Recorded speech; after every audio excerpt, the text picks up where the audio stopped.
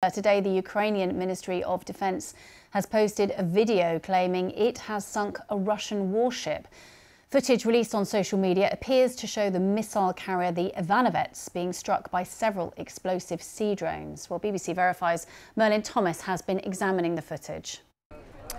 The Ukrainian Ministry of Defense have released this video on X, formerly Twitter, and they've said it shows a Russian Ivanovets warship being attacked by multiple unmanned sea vessels.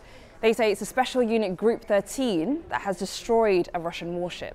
Now we've looked at the video, as you can see here, and we've also looked at other available images of the same class of ship that the Ivanovets belongs to, and several features visible in the video appear to match this vessel. So we can tell that because of some specific structures like the masts and the sensors, the large radar dome on top and the anti-ship missiles on the sides.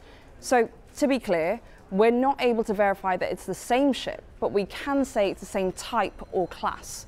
And this does appear to be new footage, so we've done checks to make sure that uh, it hasn't been posted before.